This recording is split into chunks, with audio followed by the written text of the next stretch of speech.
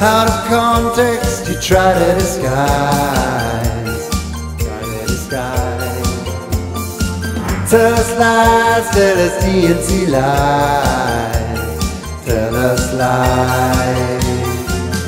Hey everyone, real quick, just wanted to apologize for the lack of daily videos. Who knew that adding another baby to the family would be so much harder? I also wanted to thank all of you who recently donated to me on PayPal or subscribed to me on Patreon.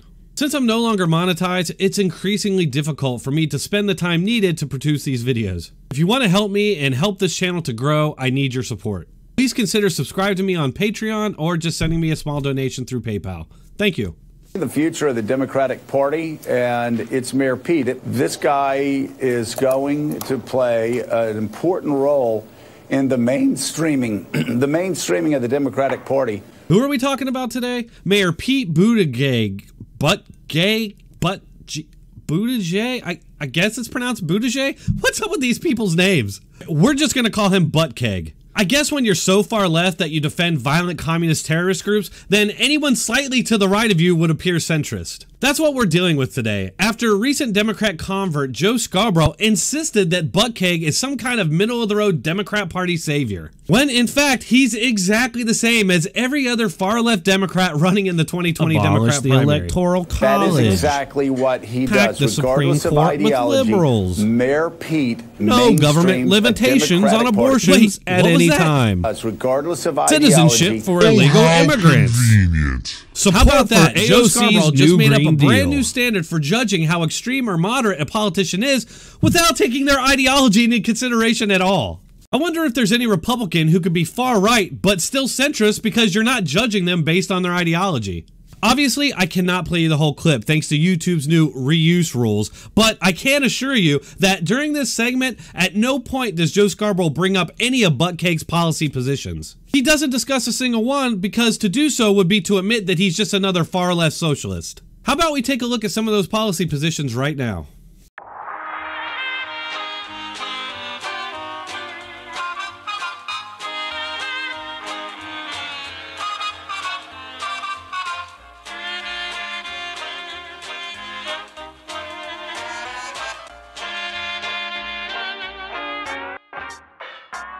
Oh yeah, nothing screams centrist like rigging the system for Democrats, aborting fully developed babies, and replacing capitalism with socialism. Besides the fact that Buttcake's policies are way outside of the mainstream, he himself is pretty far out of the mainstream. Understand, I'm not saying this as an attack on gay people. I have no problem with gay people.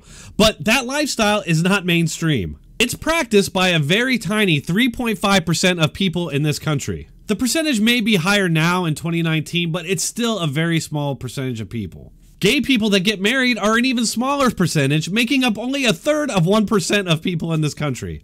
And nothing at all mainstream about that. How could such a small percentage of people be considered mainstream? The mainstream of America, the vast majority of people support capitalism. They do not support getting rid of the Electoral College. They don't support AOC's new Green Deal, and they most definitely do not support late term abortions. You would never know that by watching our Democrat Party media.